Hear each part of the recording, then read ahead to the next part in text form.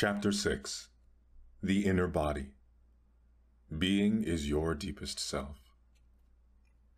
You spoke earlier about the importance of having deep roots within or inhabiting the body. Can you explain what you meant by that? The body can become a point of access into the realm of the being. Let's go into that more deeply now. I am still not quite sure if I fully understand what you mean by being. Water what do you mean by that? I don't understand it. This is what fish would say if it had a human mind. Please stop trying to understand being. You have already had significant glimpses of being, but the mind will always try to squeeze it into a little box and then put a label on it. It cannot be done.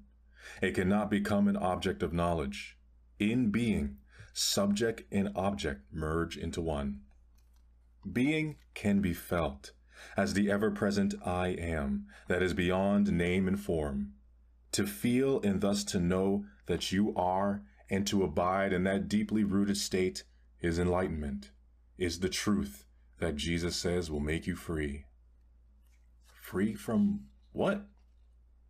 Free from the illusion that you are nothing more than your physical body and your mind. This illusion of the self, as the Buddha calls it, is the core error free from fear in its countless disguises as the inevitable consequence of that illusion. The fear that is your constant tormentor, as long as you derive your sense of self only from this ephemeral and vulnerable form.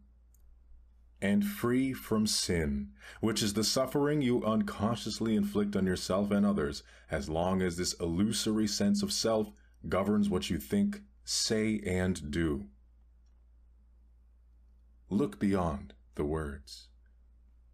I don't like the word sin. It implies that I am being judged and found guilty. I can understand that. Over the centuries, many erroneous views and interpretations have accumulated around words such as sin, due to ignorance, misunderstanding, or a desire to control. But they contain an essential core of truth. If you are unable to look beyond such interpretations and so cannot recognize the reality to which the word points, then don't use it. Don't get stuck on the level of words. A word is no more than a means to an end. It's an abstraction. Not unlike a signpost, it points beyond itself. The word honey isn't honey. You can't study and talk about honey for as long as you like, but you won't really know it until you taste it. After you have tasted it, the word becomes less important to you. You won't be attached to it anymore. Similarly, you can talk or think about God continuously for the rest of your life, but does that mean you know or have even glimpsed the reality to which the word points? It really is no more than an obsessive attachment to a signpost, a mental idol. The reverse also applies. If, for whatever reason, you disliked the word honey, that might prevent you from ever tasting it. If you had a strong aversion to the word God, which is a negative form of attachment, you may be denying not just the word, but also the reality to which it points. You would be cutting yourself off from the possibility of experiencing that reality. All this is, of course, intrinsically connected with being identified with your mind. So if a word doesn't work for you anymore, then drop it and replace it with one that does work. If you don't like the word sin, then call it unconsciousness or insanity. That may get you closer to the truth, the reality behind the word, than a long misused word like sin and leaves little room for guilt. I don't like those words either. They imply that there is something wrong with me. I am being judged. Of course, there is something wrong with you and you are not being judged. I don't mean to offend you personally, but do you not belong to the human race that killed over 100 million members of its own species in the 20th century alone? You mean guilt by association? It is not a question of guilt, but as long as you are run by the egoic mind, you are part of the collective insanity. Perhaps you haven't looked very deeply into the human condition in its state of dominance by the egoic mind. Open your eyes and see the fear, the despair, the greed, and the violence that are all pervasive. see the heinous cruelty and suffering on an unimaginable scale that humans have inflicted and continue to inflict on each other, as well as on other life forms on the planet. You do not need to condemn, just observe. That is sin. That is insanity. That is unconsciousness. Above all, don't forget to observe your own mind. Seek out the root of the insanity there. Finding your invisible and indestructible reality. You said that identification with our physical form is part of the illusion. So how can the body, the physical form, bring you to a realization of being? The body that you can see and touch cannot take you into being. But that visible and tangible body is only an outer shell, or rather a limited and distorted perception of a deeper reality. In your natural state of connectedness with being, this deeper reality can be felt every moment as the invisible inner body, the animating presence within you. So to inhabit the body is to feel the body from within, to feel the life inside the body, and thereby come to know that you are beyond the outer form. But that is only the beginning of an inward journey that will take you ever more deeply into a realm of great stillness and peace, yet also of great power and vibrant life. At first, you may only get fleeting glimpses of it, but through them you will begin to realize that you are not just a meaningless fragment in an alien universe briefly suspended between birth and death, allowed a few short-lived pleasures followed by pain and ultimate annihilation. Underneath your outer form, you are connected with something so vast, so immeasurable and sacred, that it cannot be conceived or spoken of. Yet I am speaking of it now. I am speaking of it not to give you something to believe in, but to show you how you can know it for yourself. You are cut off from being as long as your mind takes up all your attention. When this happens, and it happens continuously for most people, you are not in your body. The mind absorbs all your consciousness and transforms it into mind stuff. You cannot stop thinking. Compulsive thinking has become a collective disease. Your whole sense of who you are is then derived from mind activity. Your identity, as it is no longer rooted in being, becomes a vulnerable and ever needy mental construct, which creates fear as the predominant underlying emotion. The one thing that truly matters is then missing from your life awareness of your deeper self, your invisible and indestructible reality. To become conscious of being, you need to reclaim consciousness from the mind. This is one of the most essential tasks on your spiritual journey. It will free vast amounts of consciousness that previously had been trapped in useless and compulsive thinking. A very effective way of doing this is simply to take the focus of your attention away from thinking and direct it into the body, where being can be felt in the first instance as the invisible energy field that gives life to what you perceive as the physical body. Connecting with the inner body. Please try it now. You may find it helpful to close your eyes for this practice. Later on, when being in the body has become natural and easy, this will no longer be necessary. Direct your attention into the body. Feel it from within. Is it alive? Is there life in your hands, arms, legs, and feet?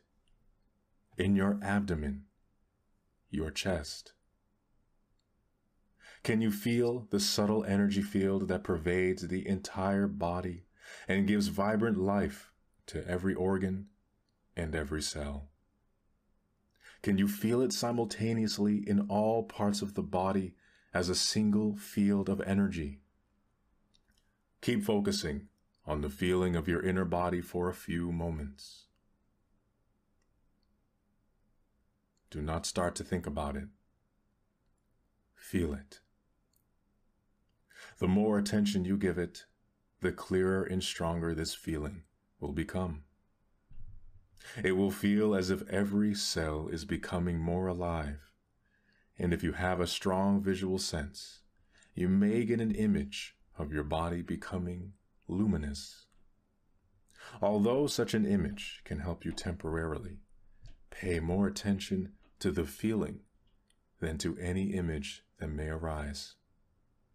An image, no matter how beautiful or powerful, is already defined in form, so there is less scope for penetrating it more deeply.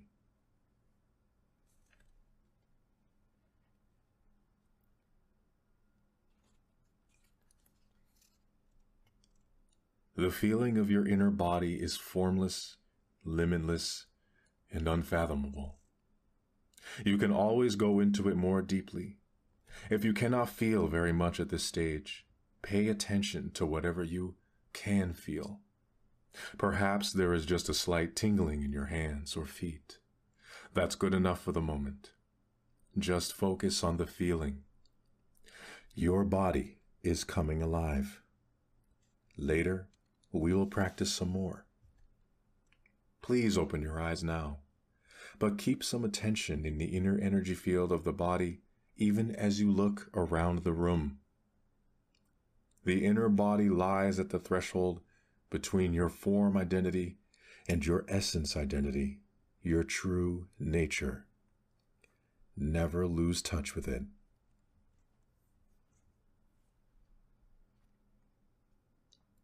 Transformation through the body. Why have most religions condemned or denied the body? It seems that spiritual seekers have always regarded the body as a hindrance or even as sinful.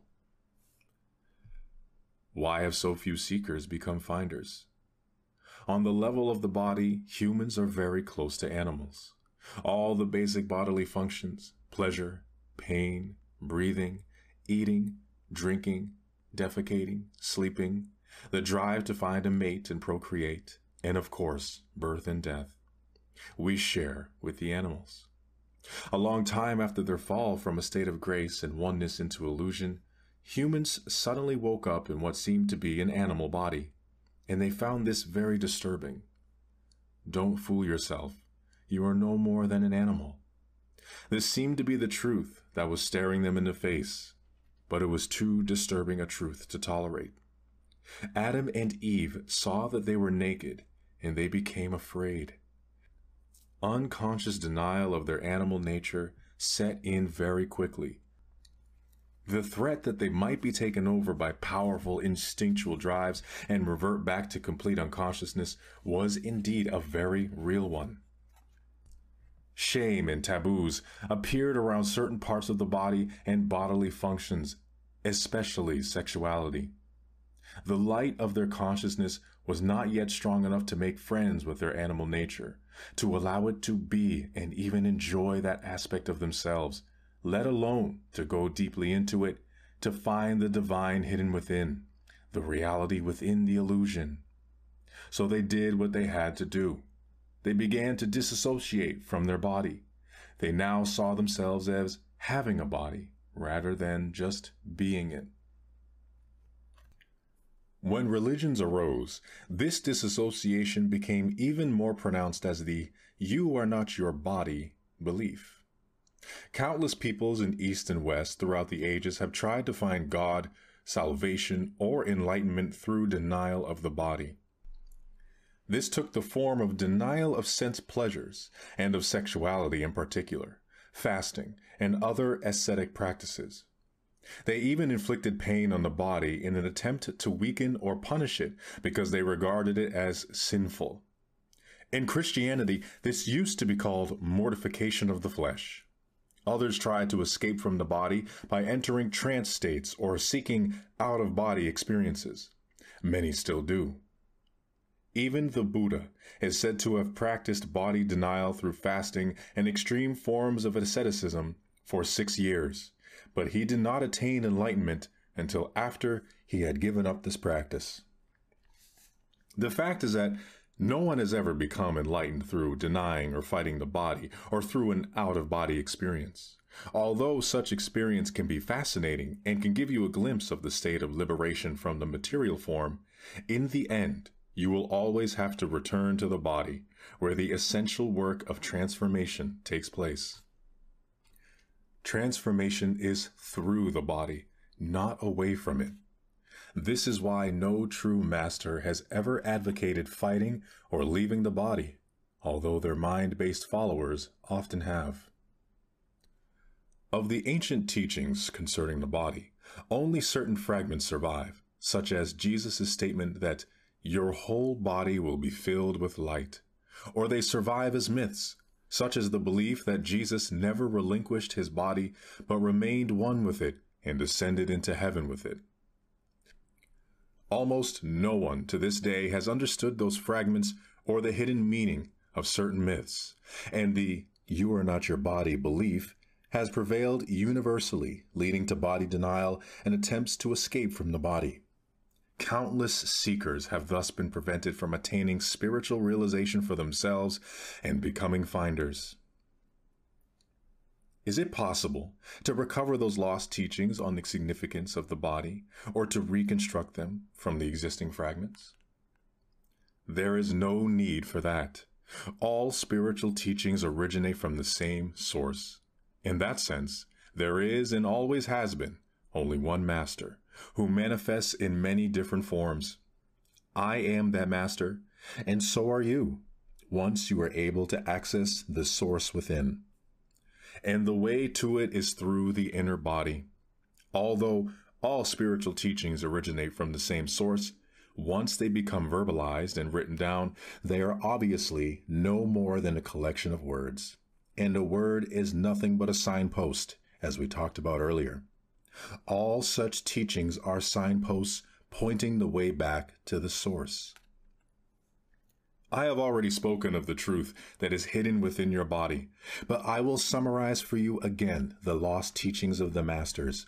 So here is another signpost. Please endeavor to feel your inner body as you read or listen.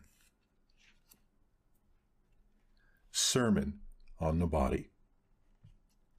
What you perceive as a dense physical structure called the body, which is subject to disease, old age, and death, is not ultimately real, is not you. It is a misperception of your essential reality that is beyond birth and death and is due to the limitations of your mind, which, having lost touch with being, creates the body as evidence of its illusory belief in separation and to justify its state of fear. But do not turn away from the body. For within that symbol of impermanence, limitation, and death that you perceive as the illusory creation of your mind is concealed the splendor of your essential and immortal reality. Do not turn your attention elsewhere in your search for the truth, for it is nowhere else to be found but within your body. Do not fight against the body, for in doing so, you are fighting against your own reality. You are your body. The body that you can see and touch is only a thin, illusory veil. Underneath it lies the invisible inner body, the doorway into being, into life unmanifested.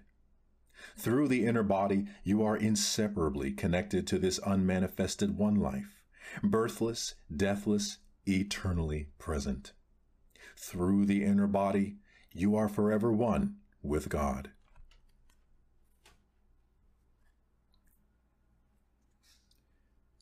have deep roots within.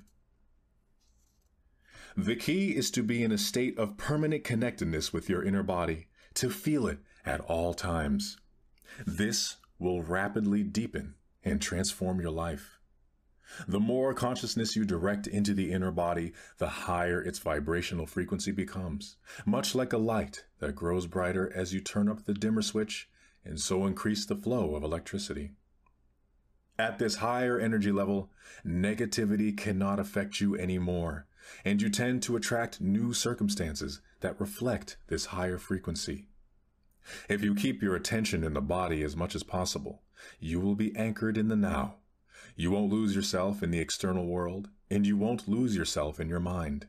Thoughts and emotions, fears and desires may still be there to some extent, but they won't take you over please examine where your attention is at this moment. You are listening to me, or you are reading these words in a book. That is the focus of your attention. You are also peripherally aware of your surroundings, other people, and so on. Furthermore, there may be some mind activity around what you are hearing or reading, some mental commentary. Yet, there is no need for any of this to absorb all your attention. See if you can be in touch with your inner body at the same time. Keep some of your attention within. Don't let it all flow out. Feel your whole body from within as a single field of energy. It is almost as if you were listening or reading with your whole body. Let this be your practice in the days and weeks to come. Do not give all your attention away to the mind and the external world. By all means, focus on what you are doing, but feel the inner body at the same time whenever possible. Stay rooted within. Then observe how this changes your state of consciousness and the quality of what you are doing. Whenever you are waiting, wherever it may be, use that time to feel the inner body.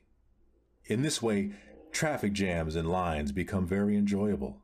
Instead of mentally projecting yourself away from the now, go more deeply into the now by going more deeply into the body. The art of inner body awareness will develop into a completely new way of living, a state of permanent connectedness with being, and will add a depth to your life that you have never known before. It is easy to stay present as the observer of your mind when you are deeply rooted within your body. No matter what happens on the outside, nothing can shake you anymore. Unless you stay present, and inhabiting your mind is always an essential aspect of it, you will continue to be run by your mind. The script in your head that you learned a long time ago, the conditioning of your mind, will dictate your thinking and your behavior. You may be free of it for brief intervals, but rarely for long. This is especially true when something goes wrong or there is some loss or upset. Your conditioned reaction will then be involuntary, automatic, and predictable, fueled by one basic emotion that underlies the mind identified state of consciousness fear. So when such challenges come, as they always do, make it a habit to go within at once and focus as much as you can on the inner energy field of your body.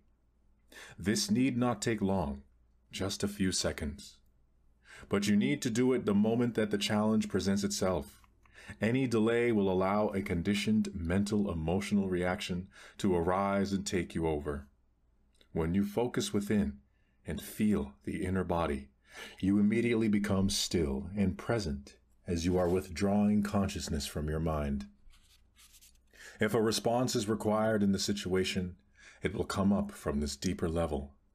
Just as the sun is infinitely brighter than a candle flame, there is infinitely more intelligence in being than in your mind. As long as you are in conscious contact with your inner body, you are like a tree that is deeply rooted in the earth, or a building with a deep and solid foundation. The latter analogy is used by Jesus in the generally misunderstood parable of the two men who build a house. One man builds it on the sand, without a foundation, and when the storm and floods come, the house is swept away. The other man digs deep until he reaches the rock, then builds his house, which is not swept away by the floods. Before you enter the body, forgive.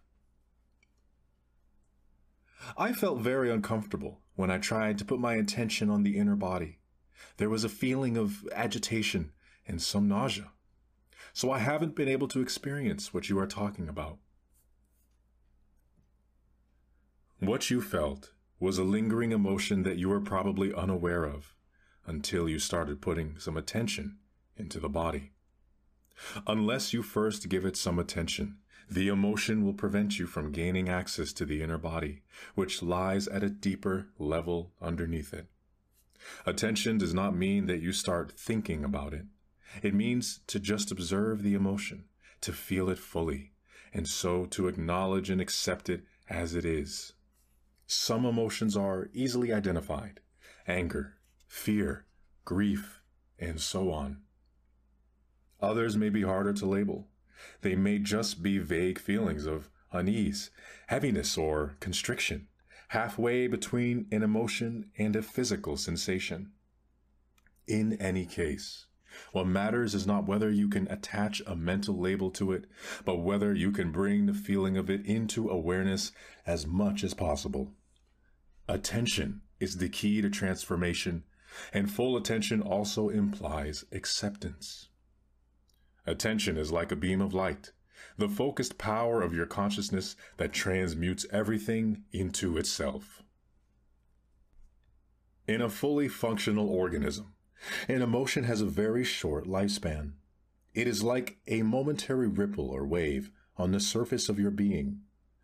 When you are not in your body, however, an emotion can survive inside you for days or weeks, or join with other emotions of a similar frequency that have merged and become the pain body, a parasite that can live inside you for years, feed on your energy, lead to physical illness, and make your life miserable.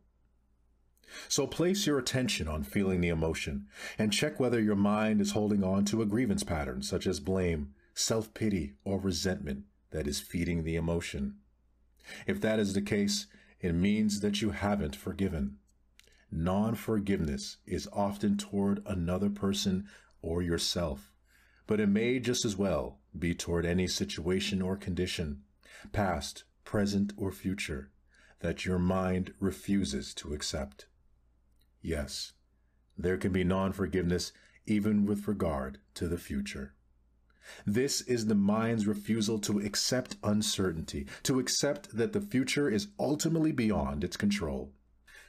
Forgiveness is to relinquish your grievance and so to let go of grief.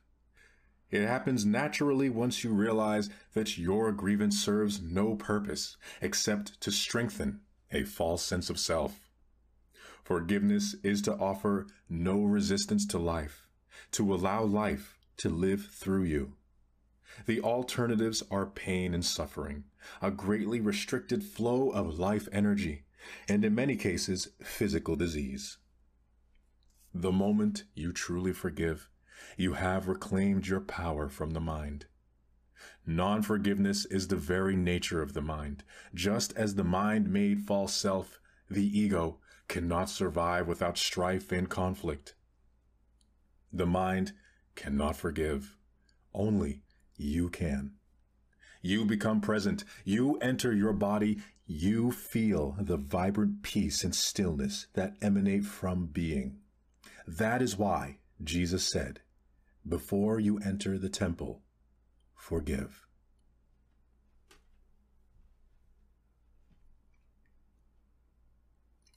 Your link with the unmanifested.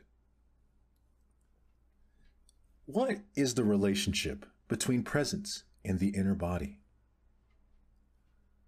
Presence is pure consciousness, consciousness that has been reclaimed from the mind, from the world of form. The inner body is your link with the unmanifested, and in its deepest aspect is the unmanifested, the source from which consciousness emanates, as light emanates from the sun. Awareness of the inner body is consciousness remembering its origin and returning to the source. Is the unmanifested the same as being? Yes. The word unmanifested attempts, by way of negation, to express that which cannot be spoken, thought, or imagined. It points to what it is by saying what it is not. Being, on the other hand, is a positive term. Please don't get attached to either of these words or start believing in them. They are no more than signposts. You said that presence is consciousness that has been reclaimed from the mind. Who does the reclaiming? You do. But since in your essence you are consciousness, we might as well say that it is an awakening of consciousness from the dream of form. This does not mean that your own form will instantly vanish in an explosion of light. You can continue in your present form, yet be aware of the formless and deathless deep within you. I must admit that this is way beyond my comprehension, and yet on some deeper level, I seem to know what you are talking about. It's more like a feeling than anything else. Am I deceiving myself? No, you are not. Feeling will get you closer to the truth of who you are than thinking. I cannot tell you anything that deep within you you don't already know. When you have reached a certain stage of interconnectedness, you recognize the truth when you hear it. If you haven't reached that stage yet, the practice of body awareness will bring about the deepening that is necessary. Slowing down the aging process. In the meantime, awareness of the inner body has other benefits in the physical realm. One of them is a significant slowing down of the aging of the physical body. Whereas the outer body normally appears to grow old and wither fairly quickly, the inner body does not change with time, except that you may feel it more deeply and become it more fully. If you are 20 years old now, the energy field of your inner body will feel just the same when you are 80. It will just be as vibrantly alive. As soon as your habitual state changes from being out of the body and trapped in your mind to being in the body and present in the now, your physical body will feel lighter, clearer, more alive. As there is more consciousness in the body, its molecular structure actually becomes less dense. More consciousness means a lessening of the illusion of materiality. When you become identified more with the timeless inner body than with the outer body, when presence becomes your normal mode of consciousness and past and future no longer dominate your attention, you do not accumulate time anymore in your psyche and in the cells of the body.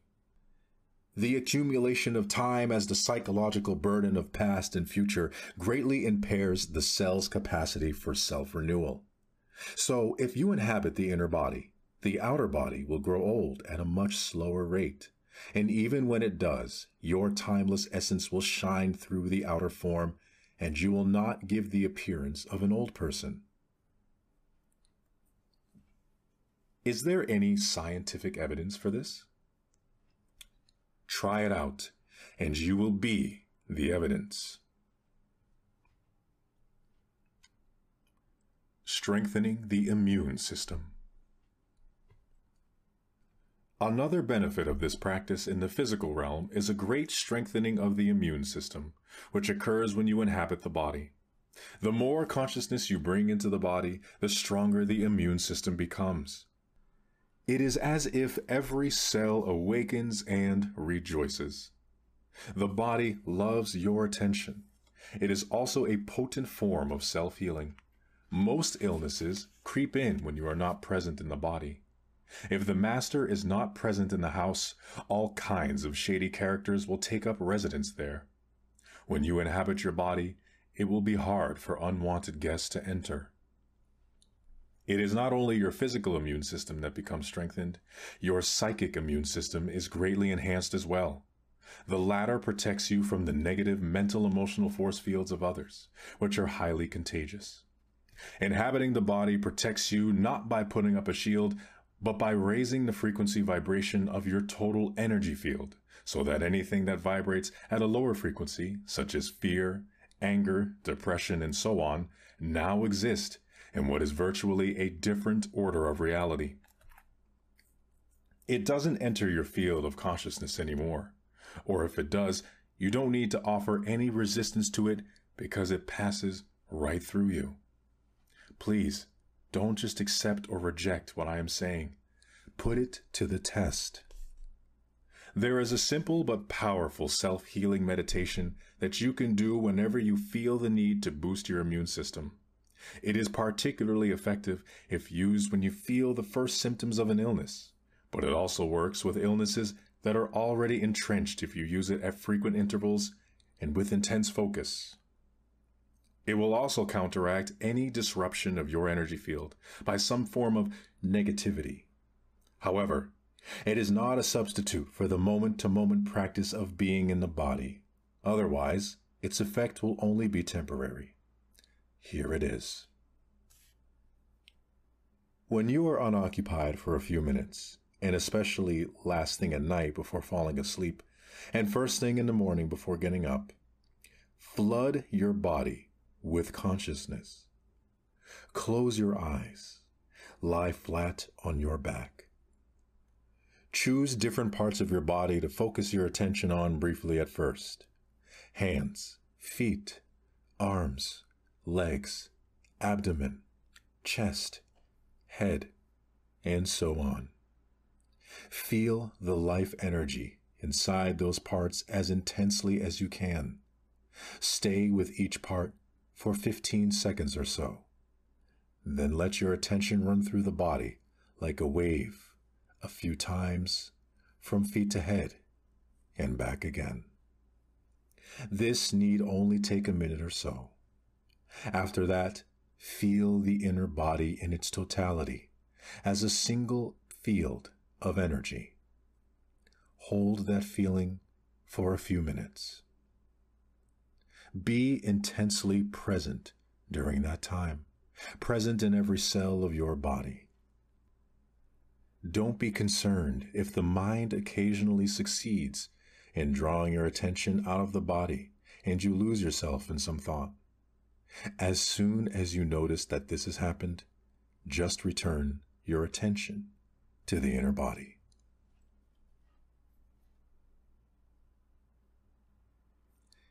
Let the breath take you into the body. At times, when my mind has been very active, it has acquired such momentum that I find it impossible to take my attention away from it and feel the inner body. This happens particularly when I get into a worry or anxiety pattern. Do you have any suggestions?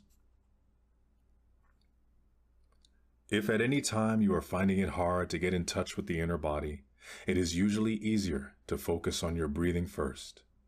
Conscious breathing, which is a powerful meditation in its own right, will gradually put you in touch with the body. Follow the breath with your attention as it moves in and out of your body. Breathe into the body and feel your abdomen expanding and contracting slightly with each inhalation and exhalation. If you find it easy to visualize, close your eyes and see yourself surrounded by light or immersed in a luminous substance, a sea of consciousness. Then breathe in that light. Feel the luminous substance filling up your body and making it luminous also. Then gradually focus more on the feeling. You are now in your body. Don't get attached to any visual image.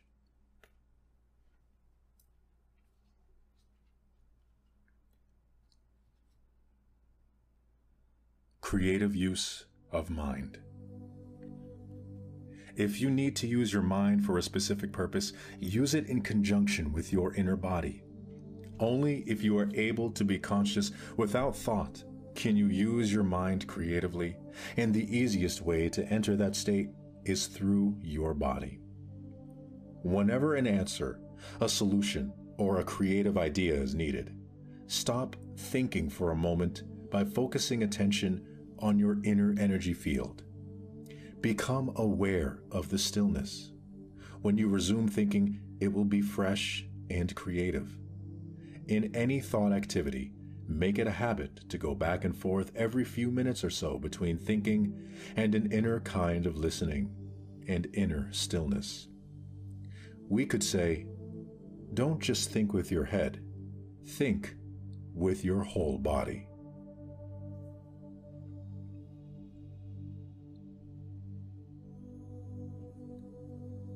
The Art of Listening.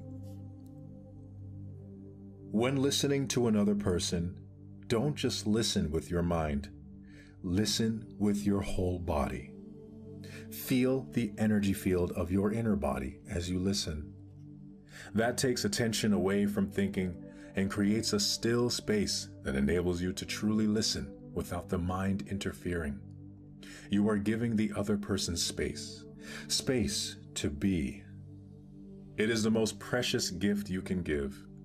Most people don't know how to listen because the major part of their attention is taken up by thinking. They pay more attention to that than to what the other person is saying, and none at all to what really matters the being of the other person underneath the words and the mind. Of course, you cannot feel someone else's being except through your own. This is the beginning of the realization of oneness, which is love. At the deepest level of being, you are one with all that is. Most human relationships consist mainly of minds interacting with each other, not of human beings communicating, being in communion. No relationship can thrive in that way, and that is why there is so much conflict in relationships. When the mind is running your life, conflict, strife, and problems are inevitable. Being in touch with your inner body creates a clear space of no mind within which the relationship can flower.